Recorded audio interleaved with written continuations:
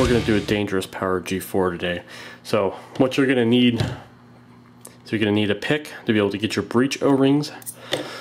You may want some oil.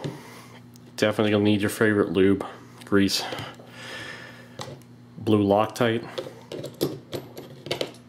obviously some Allen keys. So first note, bolt stick. If you do find yourself having bolt stick on the gun, um, you know, basically it's too much friction of your bolt on the O-rings, either the O-rings in the breech or the O-rings in your back cap, which can be this guy right here. So you want to make sure this thing floats smoothly across it. It should be pretty much effortless. Now if you hold it like this and your cap sticks in here, guess what? You got a problem. So you definitely want to replace it if it sticks at all. It should be free to move. Uh, without further ado, we will pull it apart.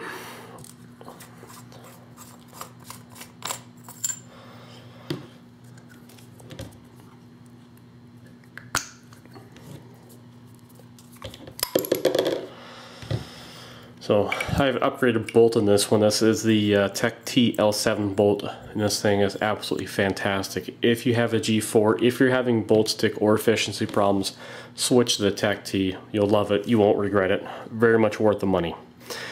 Um, so we have breech O-rings in here. Let me see if we can get the light. I doubt we're going to be able to get it. We can get a little bit in there.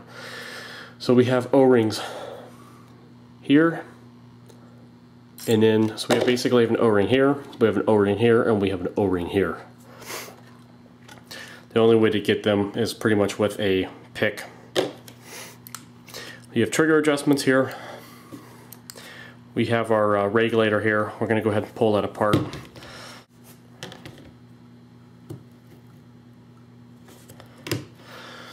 So while we're on the macro line, um, everyone has two problems with the G4s. They have leaking macro line and they have a sticking bolt. So, you know, if you have the bolt stick, you can replace your O-rings, you can switch to a lighter lubrication. Um, but for me, I found I switched oil. I still had the problem after a little bit. It kept getting worse. And I ended up finding the O-ring back here was bad and it was pretty much causing, you know, you know the bolt to drag uh, quite a bit excessively. So make sure and after make sure you uh, check your O-rings. And after I did the uh, O-ring replacement, I could use whatever type of grease I wanted. Everybody hates on the hater sauce. Oh, big whoop, you know. Uh, use whatever lube you want. Dow 33 based. And this is a Tech T-Sav. So, with the macro line undone, everyone also complains about the fittings here too. You can replace so they're like five bucks. Let's see if I don't have too much grease on my hands. Shit.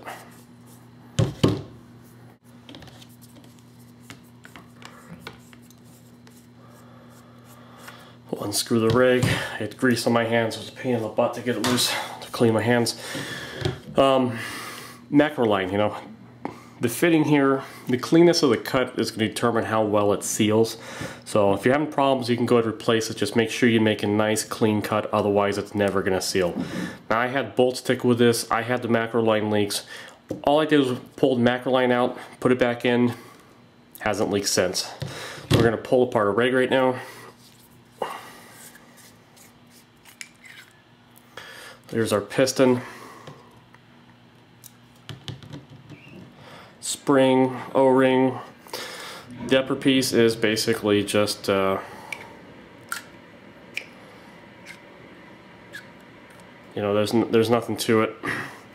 The lower piece is where you have the adjustment. You really don't need to tear down into this.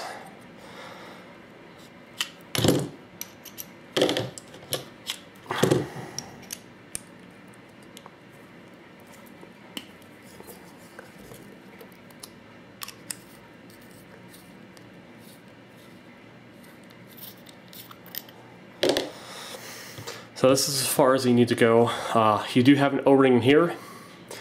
You have an O-ring here, so when you do, do go uh, service your gun, you're going to want to replace those when you're doing the reg, but you don't have to do it that often. You mainly just need to go in there and clean it, but that's every, uh, I don't even know, what, six, eight cases, something like that. You might want to check and just see how dirty it is. A lot of it depends on your air supply, you know, from your local field. Um, different fields have a different amount of dirt getting inside their uh, air compressor. So set the regulator aside. Um, do the eyes next.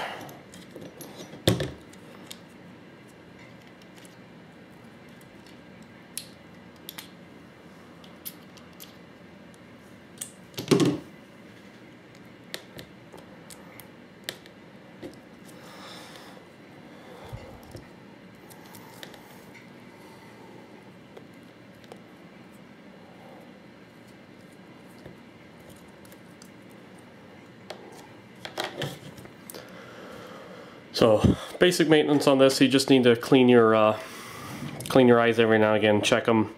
Uh, right here you have your uh, ball detent. You have a spring in the back of your eye cover. You check it for wear. Don't lose your spring. Make sure it's clean. You can see your solenoid in here if you need to tear down into that. So if you pull your eyes out, you clean them. You don't definitely want to check and make sure you don't have any paint.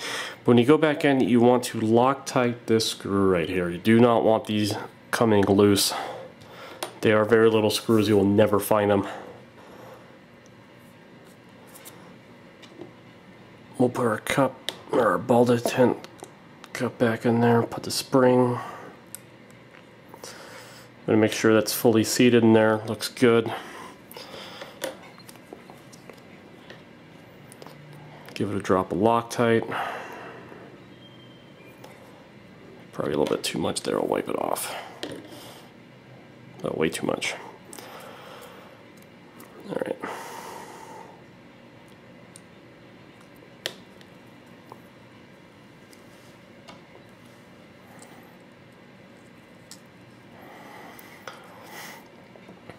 Now, of course, when you have your eyes out, you want to make sure your eyes are, uh, the holes are clean.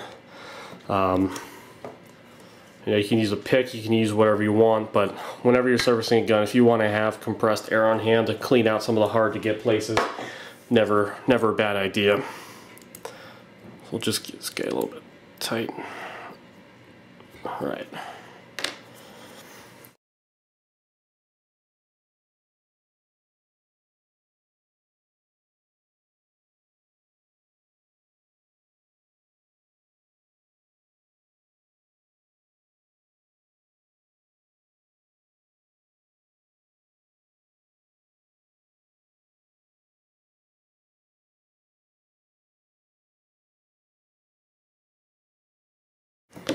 When you're pulling the wires out, you don't want to pull from the wires.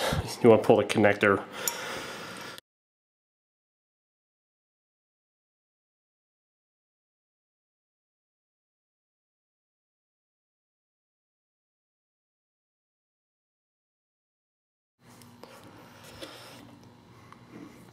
You have your solenoid right here, you just want to clean everything.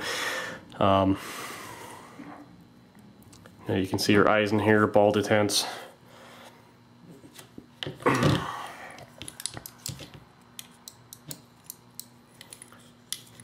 Clean everything in here, but really, there's no need to really separate these two unless you're going after the solenoid.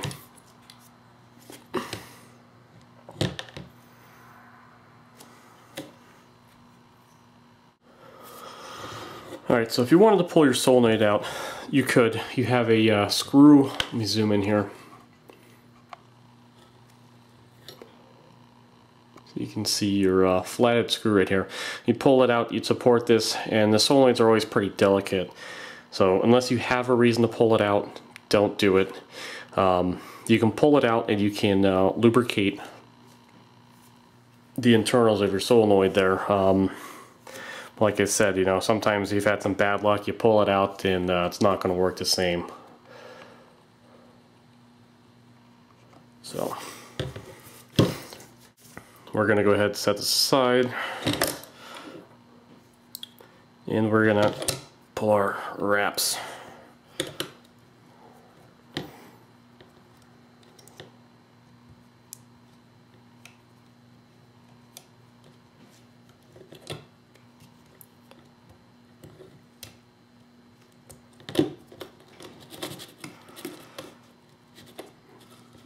Will say make sure this bolt is clean before, or the Allen head is clean before you uh,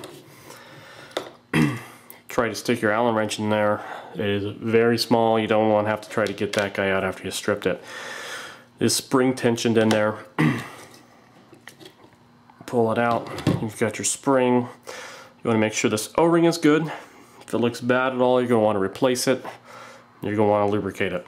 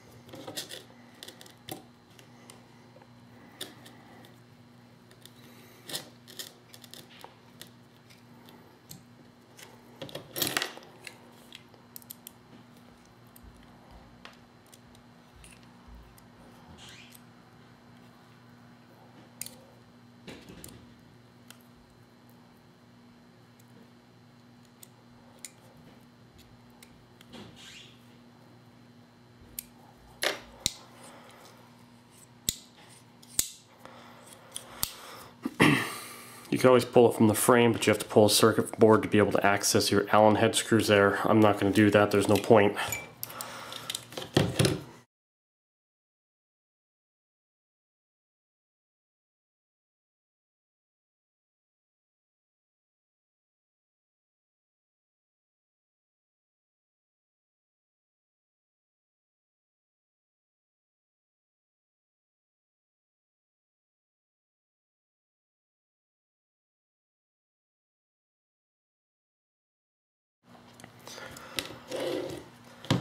So for, for your reg, you just want to make sure you have uh, lubricant on your piston so it can slide freely in the, in the surface in here.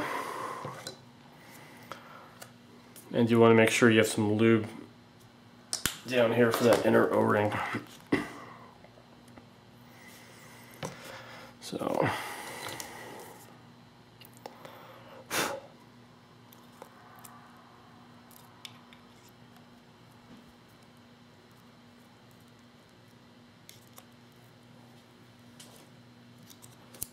Good.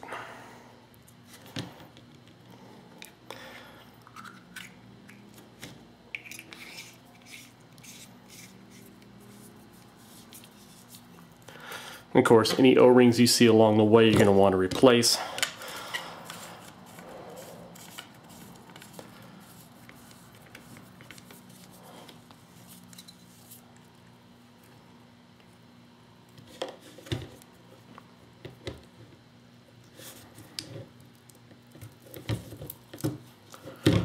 macro lines back in.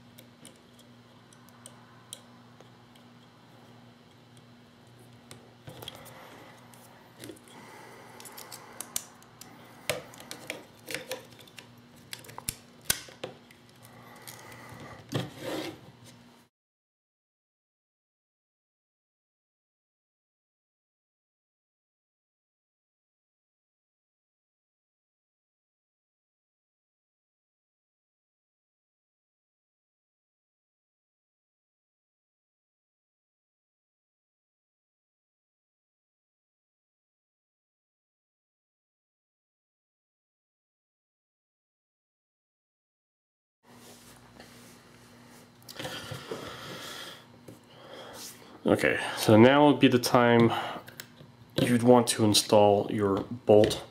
Um, one good trick is when you go to install it, obviously after you've lubed it up is to make sure that uh, you seat it all the way forward. Make sure it moves freely in these O-rings here. If you have any hang up at all, you're going to want to replace the O-rings.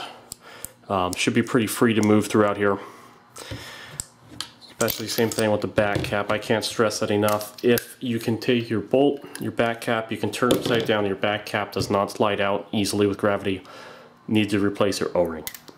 Um, you know, once I replace mine, all the uh, woes of the bolt stick have never, have not since returned. However, um, know, if you do have bolt stick, even if using the oil, if you pull the bolt, if you push the bolt all the way forward so it's seated, when you air it up, it's going to slam it back. It's going to push it into the back cap. Um, you know, typically going forward is where it sticks, not the other way around. So typically that will uh, help you fight the bolt stick if you're out on the field. Just pull your, degas your marker, you know, push the bolt all the way forward, put the back cap in after you've put some oil on it, and you know, oil on the seals here on the inside on the bolt. Uh, you don't want to over oil it because too much oil in there is going to coat your barrel and you're going to have accuracy problems. Um, but past the stock bolt, I found the uh, Tech T1 quite a bit more efficient. You can lower the LPR, less kick. You can actually turn down the dwell.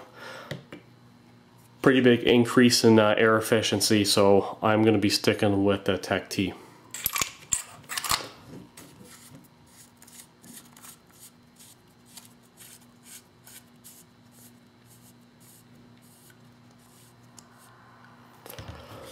That's it guys, thanks.